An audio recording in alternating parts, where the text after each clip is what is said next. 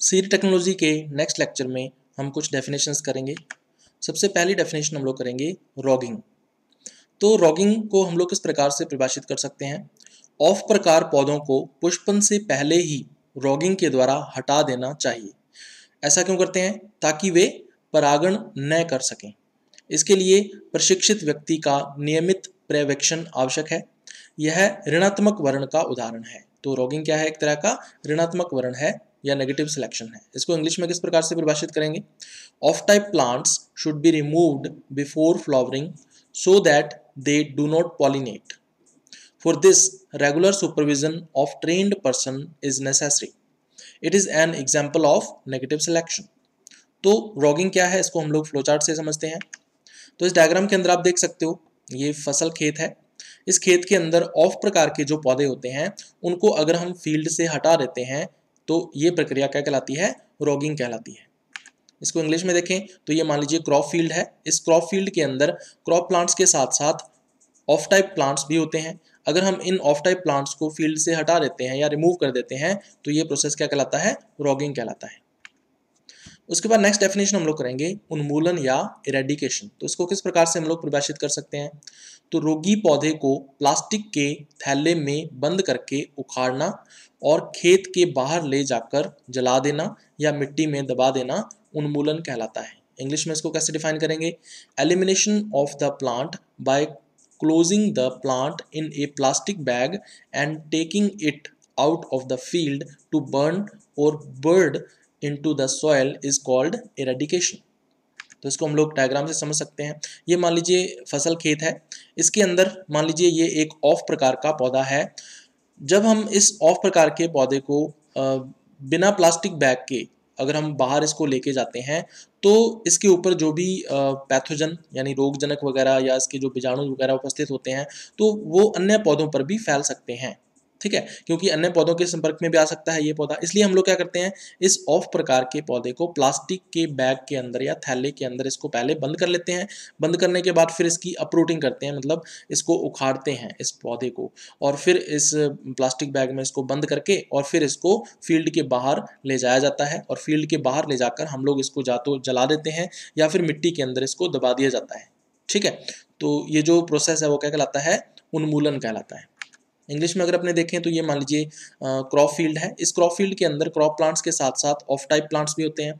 ये जो of type plants हैं इस ऑफ़ टाइप प्लांट्स को जब हम फ़ील्ड के बाहर लेकर जाते हैं तो हो सकता है इसके इस ऑफ़ टाइप प्लांट्स के ऊपर जो भी फंगल स्पोर वगैरह हों, है ना, या पैथोजन वगैरह हों, वो अदर प्लांट के कॉन्टैक्ट में भी आ सकते हैं हेल्दी प्लांट के कॉन्टैक्ट में भी आ सकते हैं तो उनको वो इन्फेक्ट कर सकते हैं। ठीक है, इसलिए हम लोग क्या करते हैं, सबसे पहले इस ऑफ़ टाइप प्लांट को एक प्लास्टिक बैग से कवर कर लेते हैं।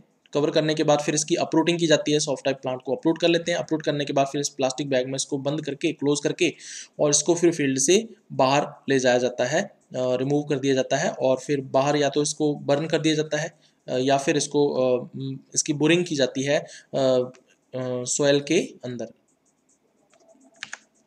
उसके बाद नेक्स्ट डेफिनेशन हम लोग करेंगे, निराई गुड़ाई, या जिसको होइंग भी कहा जाता है। तो होइंग में हम लोग क्या करते हैं? नुकीले औज़ार के उपयोग से खेत की मृदा को खोदना और खरपतवारों को निकालने की प्रक्रिया को निराई गुड़ाई कहते हैं। तो इसका मतलब ये है कि रॉगिंग और होइंग जो है, ये दोनों अलग अलग प्रोसेस हैं।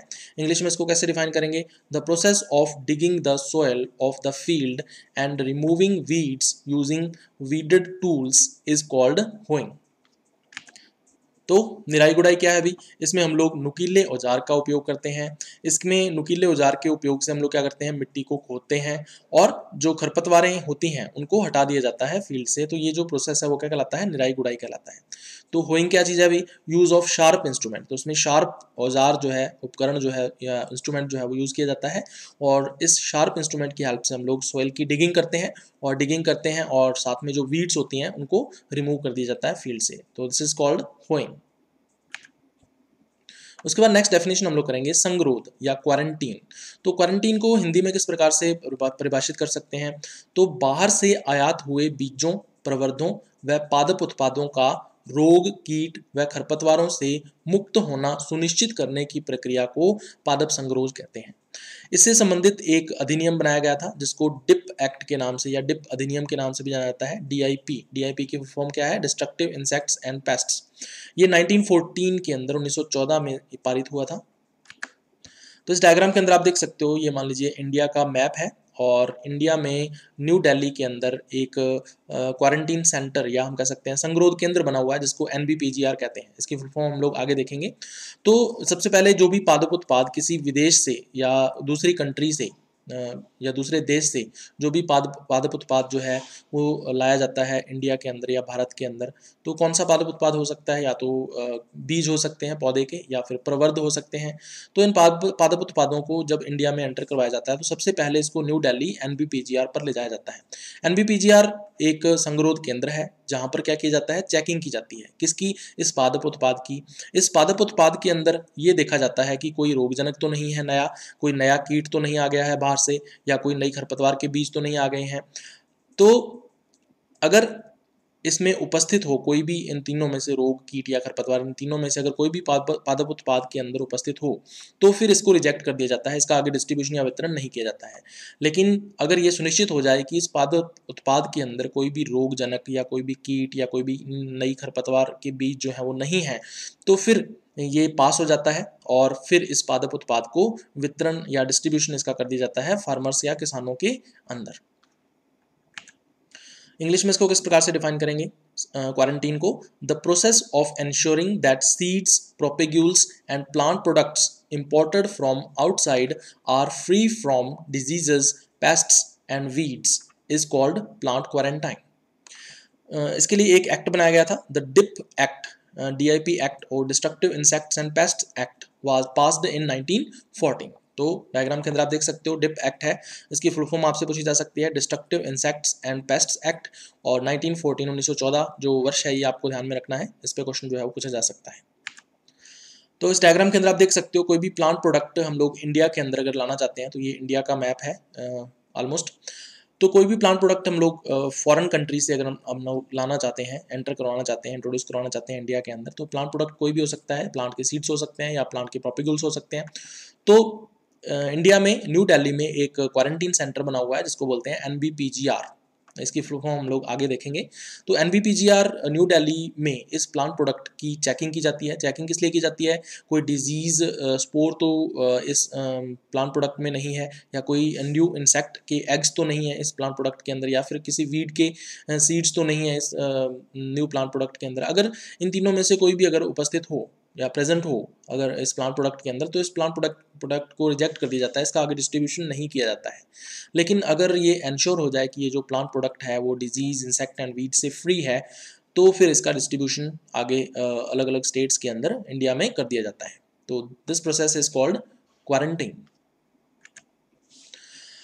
India के अंदर अगर भारत में हम लोग बात करें तो चार पादप संगरोध केंद्र बने हुए हैं। इंडिया के अंदर फोर प्लांट क्वारंटीन सेंटर्स जो हैं, वो डेवलप किए गए हैं। तो इसके अंदर इनके नाम आपको ध्यान में रखने हैं N B P G R New Delhi ये जो है एग्रीकल्चर व हॉर्टिकल्चर से रिलेटेड जो प्लांट स्पीसीज होती हैं या पारप जातियाँ होती हैं, उनका जो क्वारंटीन है या संगरोध है, वो N B P G R New Delhi पर किया जाता है। N B P G R की फुल फॉर्म आपसे पूछी जा सकती है। तो National Bureau of Plant Genetic Resources जो है, ये आपको ध्यान में रखना है, इसकी फुल फॉर्म इस पर क्वेश्चन आता है।